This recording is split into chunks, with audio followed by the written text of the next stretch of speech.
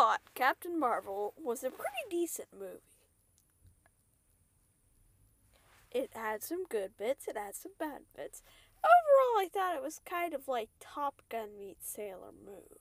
If you can really believe that, that's, that's actually what I thought. And I told it to my friend, Sara and Drew, who I was watching the movie with.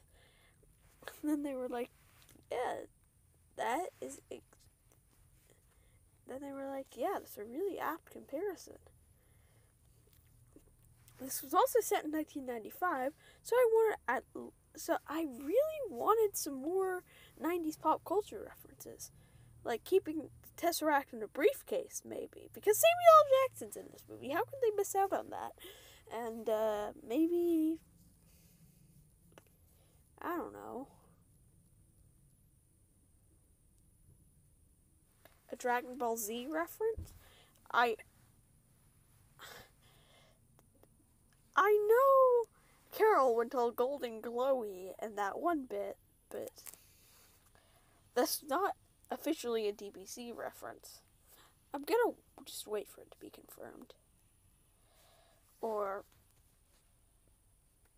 you know, the only other missed opportunity really in this movie was at least one more Top Gun reference. Because let's face it, it's kind of like that. Maybe the need for speed line. You could be man anytime, Maria. It's just she probably watched that movie while she was on Earth, so why not reference it?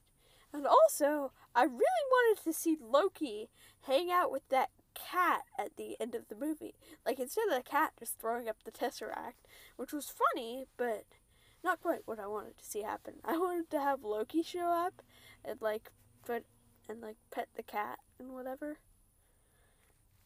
Good kitty, good kitty. Give me the tesseract. Give me the tesseract. I know.